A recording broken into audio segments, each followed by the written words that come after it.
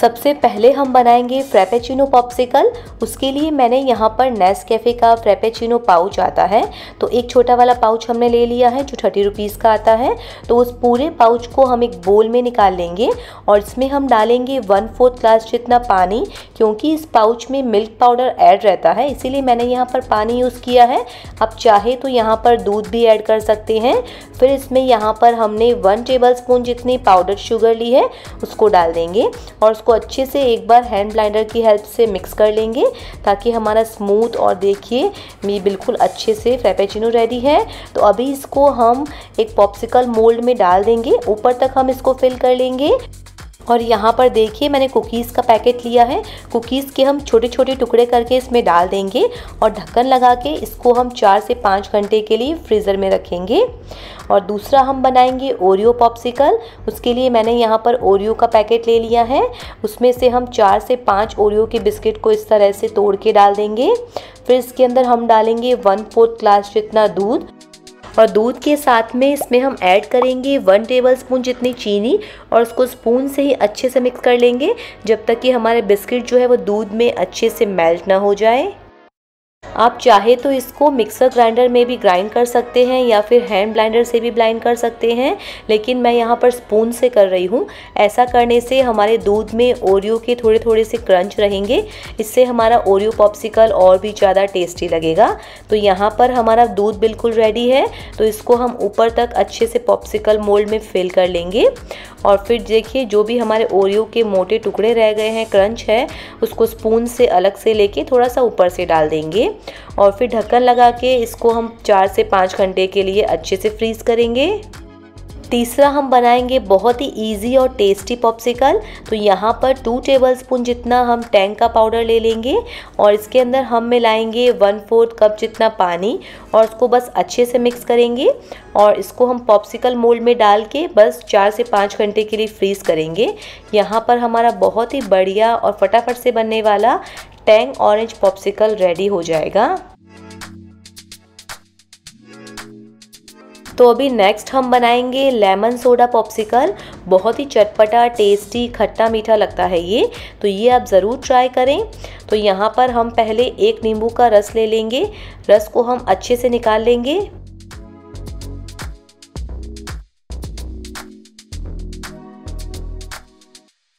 यहाँ पर अच्छे से नींबू का रस निकल जाने के बाद में टू टेबल स्पून जितने हम इसमें डाल देंगे पाउडर शुगर और थोड़ी सी इसमें हम डालेंगे काली मिर्च पाउडर थोड़ा सा हम डालेंगे भुने हुए जीरे का पाउडर और थोड़ा सा इसमें हम डालेंगे वाइट नमक, थोड़ा इसमें हम डालेंगे काला नमक और इन सभी मसालों और चीनी को नींबू के रस में पहले अच्छे से मिक्स करेंगे और फिर इसके अंदर हमें पानी नहीं डालना है। पानी की जगह इसमें हम डाल देंगे प्लेन सोडा अगर आपके पास सोडा नहीं है तो आप इसमें स्प्राइट भी यूज़ कर सकते हैं, लेकिन अगर आप स्प्राइट डालें तो इसमें चीनी को स्किप कर देना।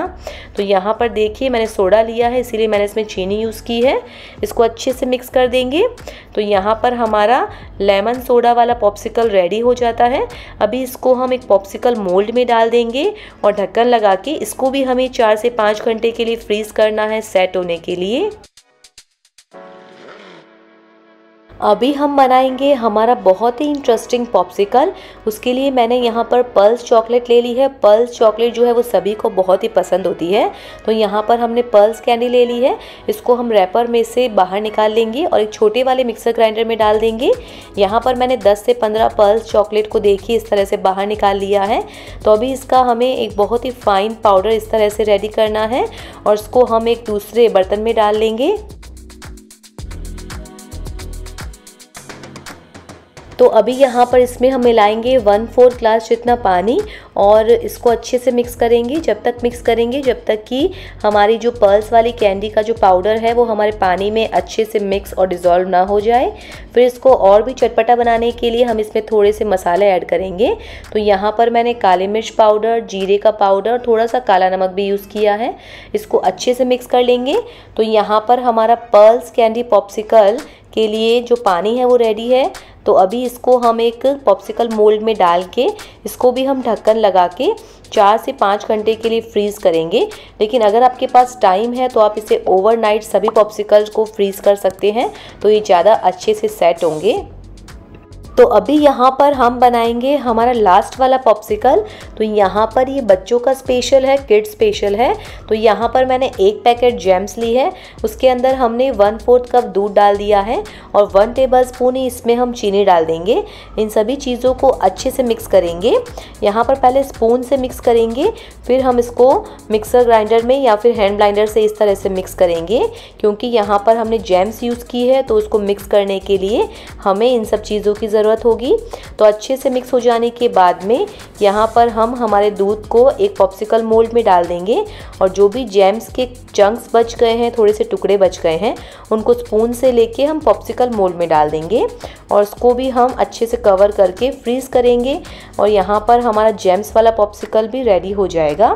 तो यहाँ पर देखिए मैंने आपको इस वीडियो में छः तरह के बहुत ही इजी पॉप्सिकल बताए हैं।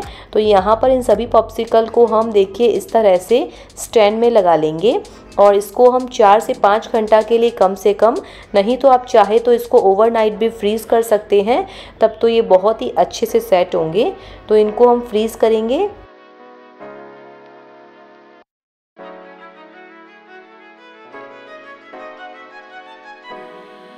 यहाँ पर आप देख सकते हैं, हमारे पॉप्सिकल अच्छे से सेट हो गए हैं। पाँच से छः घंटे मैंने इसको फ्रीज़र में रखा था, तब देखिए बहुत ही अच्छे से ये सेट हुए हैं।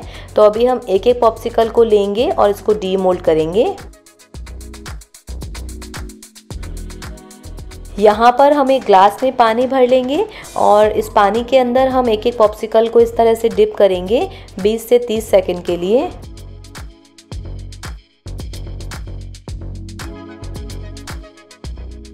अच्छे से पानी में डिप करने के बाद में यहाँ पर हमारे पॉप्सिकल बहुत ही आसानी से निकल जाएँगे।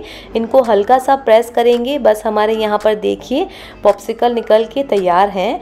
आप इनको इसी टाइम खा सकते हैं। बच्चों के बहुत ही फेवरेट हैं ये। तो एक बार आप इसको ज़रूर ट्राई करें। तो यहाँ पर देखिए, बिल्कुल बाज़ार जैसे पॉप्सिकल हमने बना के तैयार किए हैं। इसी तरह से हम सभी पॉप्सिकल को पानी में डिप करेंगे बीस से तीस सेकेंड के लिए। और बहुत ही आराम से हमारे पॉप्सिकल निकल जाते हैं और आप इनका इंजॉय ले सकते हैं। तो आप इस समर इन पॉप्सिकल्स को ज़रूर ट्राई करें। बच्चे हो या बड़े, सभी को बहुत ही पसंद आएँगे और बनाना बहुत ही आसान है।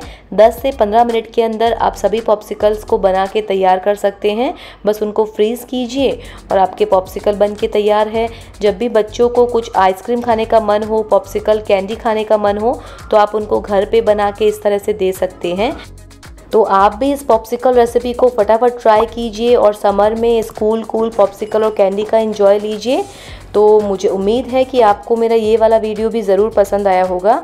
अगर आपको मेरा वीडियो पसंद आता है तो प्लीज़ मेरे इस वीडियो को एक लाइक करें, इसे अपने फैमिली एंड फ्रेंड्स में भी शेयर करें और मेरे चैनल को सब्सक्राइब करें और बेल आइकन दबाएँ, ताकि आपको मेरे सभी न्यू वीडियोज़ की नोटिफिकेशन मिल सके। और आप मुझे इंस्टाग्राम और फेसबुक पर भी फॉलो कर सकते हैं। तो मिलती हूँ नेक्स्ट वीडियो में, तब तक के लिए बाय एंड टेक केयर।